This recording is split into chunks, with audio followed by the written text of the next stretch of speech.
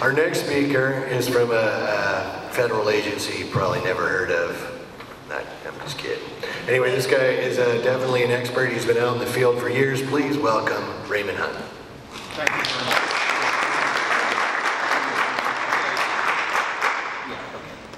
Uh, anyway, I work over on the other side of the country in Beltsville, Maryland. The Beltsville Agricultural Research Service is one of the largest and oldest agricultural research centers of the world. Now, the cultivation of soil, applications of fertilizers and pesticides, crop breeding have contributed to record yields of corn and other crops in the United States. Uh, globally, all the areas suitable for agriculture are already being farmed, and we're losing that land for cities and roads and other development.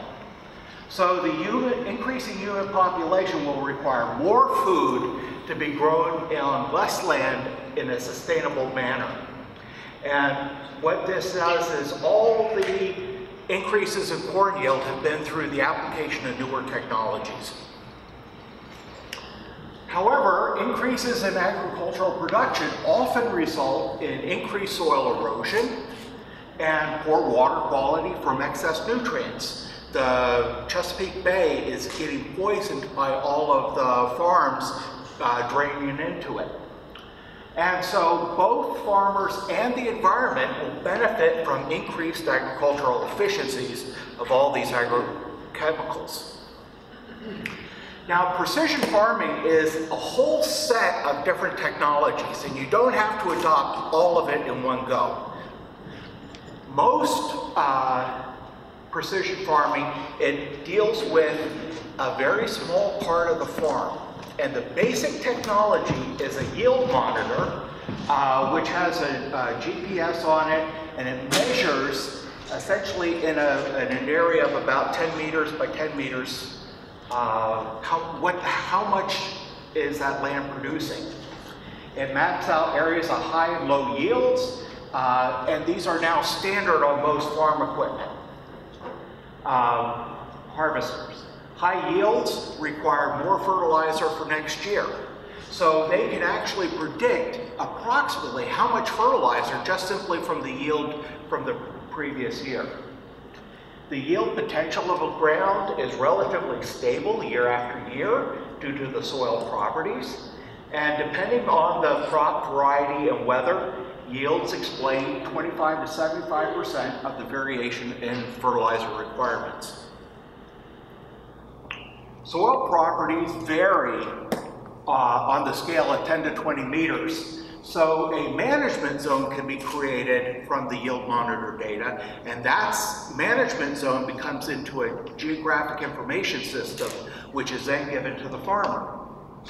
In-season management based on information from crop monitoring and decision support systems can give an idea of how much extra fertilizer the, the uh, the crop needs. And the, so any benefit of a small UAS will come from uh, essentially from in-season management. And one of the things I want to say is the margin of benefit is a lot smaller. We're not talking about UAS versus no precision agriculture. We're talking about UAS versus all the other technologies of precision agriculture. Uh, one of them is these on-the-go proximal sensors like the crop seeker, crop circle or green seeker. They go along the road with a tractor measuring NDVI. Farmers have known about NDVI since the 70s. Okay, they're not going to be surprised, but NDVI doesn't work. Okay, because of crop variety, different soil types, weather. Okay, uh, basically what have to do is farmers plant high and low fertilizer strips to calibrate the sensor response to the nitrogen requirement. Now in Japan, small UAS are used to apply fertilizers and pesticides, but there's a big difference in the type of farming. Okay, the rice fields are small and muddy, and you cannot use heavy farm equipment to sit there and manage the crop. In the US, it's very dry, we have very large fields, and we have big, heavy farm equipment. You're not going to get, even with one of these Yamahas, you're not going to get enough uh, pesticides or fertilizers to go even a quarter section. The key tech, one of the key technologies is variable rate application. Farmers generally apply more agrochemicals that uh, on the chance that good weather will lead to bumper yields, bumper crops. The uh, idea is later in the growing season, they will uh, basically the, the crops will be nitrogen starved. And so they will not be able to take advantage of that good weather. Uh, so basically, you apply different amounts of fertilizers over the field based on the GPS and G GIS. So the, the small UAS creates this geographic uh, information system layer. Less nitrogen and pesticides are applied, so less nitrogen and pesticides escape into the environment. Now this is how I got started uh, 17 years ago. Okay, I, I started developing a science project for a USDA NASA summer educational program called uh, basically The Engineer in Spanish and Imagine Excellence. So we got the, the kids out flying the UAV with a buddy box. Well, actually, this was a radio controlled model airplane with a buddy box.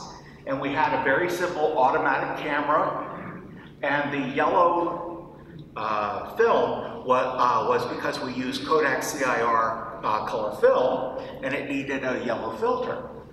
So it protected the camera and provided the filter. And we collected pretty good images. And we could see that it had the potential to provide a lot of data. But simply the technology wasn't there. Okay, we, we needed better technology to make it applicable. Uh, I worked uh, in the mid-aughts uh, with a uh, Maryland company, IntelliTech Microsystems, which is now called Maryland Aerospace. They had the Vector P, which had a very large payload, and we could start using to, uh, it to carry multispectral sensors uh, and acquire 2.2 centimeter pixels. Whoops. Okay, at the Beltsville Agricultural Research Center, we're in the DC flight restricted zone. So uh, basically, here is my tier one platform, and here's my tier two platform. Okay, so we, we simulate the imagery from UAS trying to get the best information possible. Why? Well, we've been studying using sensors to try to predict nitrogen requirements for 40 years. Why isn't people, why aren't people using it? Well, it's a lot harder than it looks because here, if you take this basically uh, one and a half feet by one and a half feet square, you see it has a mixtures of dark areas, soil, and light areas. So if we took even a small pixel here of about oh, three square feet, what it happens is it averages out all the signal and you lose it. So there is no uh, relationship between the nitrogen that is in the plants versus what you're measuring. However, if we get small pixels and are able to image the individual leaves, now we've got a good system. These pixels are, by the way, uh, less than a millimeter squared. Uh, with, with corn, early in the growing season, when you can manage the nitrogen, there is not much difference. But in the later growing season, past the point of when it really is profitable to uh, fertilize, now you've got a really good signal. So the signal that we can measure comes too late to use. We have to get earlier signals, and basically, the way to do that is smaller pixels. Now, unlike uh, the previous talk, you do not need to get picture by picture overlapped with uh, with uh, the pixel stitching software like Pix4D or what I use, Agisoft Photoscan Pro. Okay, you can get a transect across here. You can analyze an individual photograph for how much nitrogen that point needs, and then you krige it and put it into a GIS map. The deliverable to the farmer is the information in the Geographic Information System map, not the imagery. That's the raw data.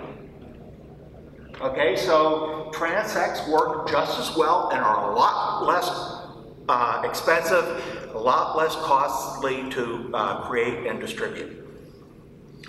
With uh, in potatoes, Colorado potato beetles are really voracious pests of potatoes and other vegetables. Insecticides are used extensively to control these beetles on commercial fields. But we eat what's underground, which isn't affected by all of the pesticides. Uh, we use the G, DJI spreading wings uh, hexacopter and a Tetracam Mini MCA uh, multispectral camera array with an incident light sensor here. So we're able to get reflectances. Reflectances have the information, not digital numbers. We set up with, with our partners at Oregon State, we set up uh, manipulation experiments where we put more bugs on the plants. We did flights all through the uh, gr growing season.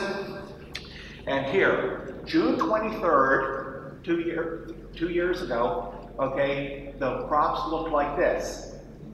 Okay? There was really no damage at all. The next day, Okay, overnight, the, the beetles emerged in the fifth instar and started just basically having a big uh, buffet feast here. Okay, and we did verify that these areas here are areas where the uh, bugs came and ate the leaves. So this is overnight. Now the other thing is, is if we had again a pixel size of about three square feet, four square feet, we're not going to see this. So again, getting the smaller pixels allows us to get more information.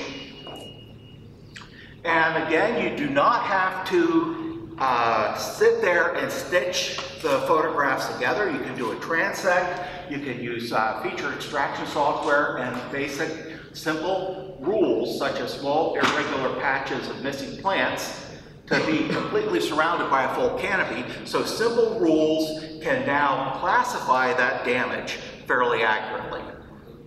Now, forget everything what, what I just said. okay? Uh, what the, the, the current trend is, plant height is a very sensitive indicator that of uh, how fast the plants are growing. It's a sensitive indicator of stress. Right now, uh, the basically all your crop breeding companies like Monsanto and DuPont Pioneer are investing a lot of time using plant height as a way of determining the phenotype of thousands and thousands of new plants very quickly. Uh, so we can see that the areas with the where the canopy was destroyed, you get a, a hole in the canopy. So you can start perhaps using height uh, with, the, with these uh, basically the very high resolution point clouds. Now, when you're using a point cloud, you have to have the overlap, you have to have uh, a big, large image. Basically, uh, agronomists may be actually using these uh, things to actually go through the field. So the goal is you have to know what you want to deliver to the farmer. What are you going to deliver to your customer? And you have to use the technology uh, appropriate for that. So, sensors acquire data, not information. The farmers and users want the information. Okay, the pictures are just are just raw data. Okay, the requirements for small pixel sizes comes from the methods of uh, analyzing the data to acquire the information. Uh, the deliverable product may be a geographic information system, not a stitched image. Uh, nutrient management services are only required one or two months per year. So UAS service providers are going to have to be very diversified. They're not going to make money just by focusing in on crops. I mean, even the growing season of crops is what, three, three, four months long? So what are you going to do all winter? Uh, UAS are very flexible and different sensors may be configured to detect pests, plant diseases, weeds, irrigation efficiency, and erosion. Uh, the low-hanging fruit has already been picked for agriculture. So you need to start, everybody needs to start working together uh, to come up with better methods to provide the data to farmers. So will using small UAS for precision take, agriculture take off? Eventually, because it's a great and cheap way of getting the information needed. And I want to, even though I'm the author of this talk, I have lots of colleagues, lots of collaborators from USDA, Oregon State University, Boeing Research and Technology, Paradigm ISR, Falcon Scan, and uh, I really appreciate the time and the invitation for speaking here. Thank you.